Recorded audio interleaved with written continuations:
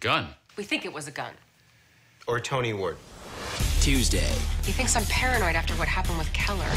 when trouble moves in next door, This is exactly when having a husband in the FBI comes in handy. Peter's next case will hit too close to home. You lied. Get inside my house.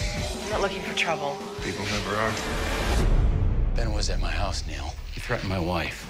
Joe Manganiello guest stars on an all new white collar, Tuesday at 10, only on USA.